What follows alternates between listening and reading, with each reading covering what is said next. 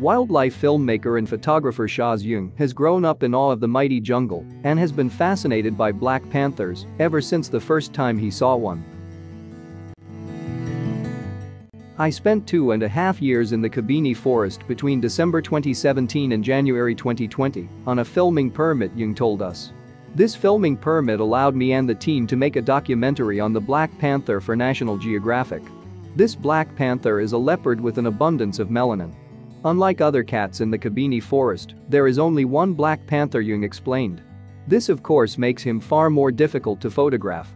However, since 2015, photographers have been fortunate enough to see him and take pictures. We are, however, the first to make a dedicated movie on him.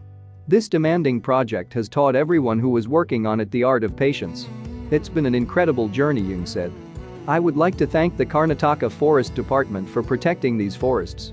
Their hard work enables us to catch glimpses of these beautiful animals that are thriving in our Indian forests.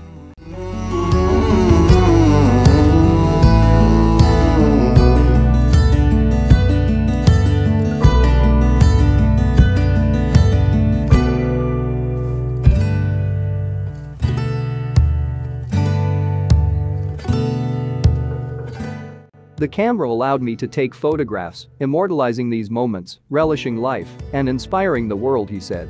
Wildlife is unpredictable, and I love the challenge of tracking your subject before you can photograph it. It feels far more rewarding.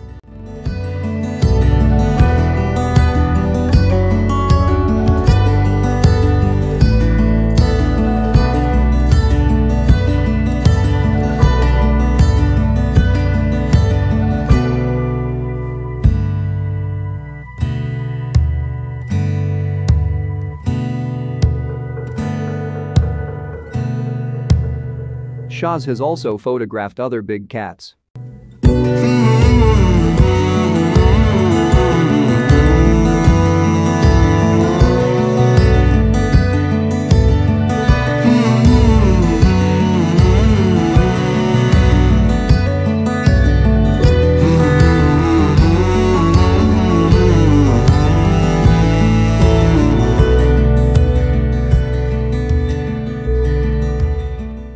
Here's what people said about his stunning photos.